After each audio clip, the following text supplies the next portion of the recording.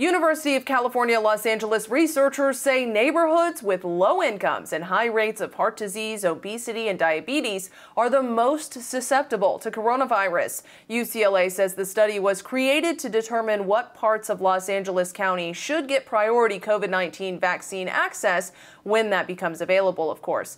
It looked at four main factors socioeconomic challenges, pre existing medical conditions, access to health care, and also built environmental characteristics characteristics.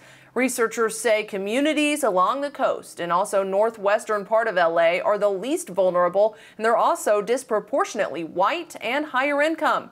Katie Johnston for CBS LA.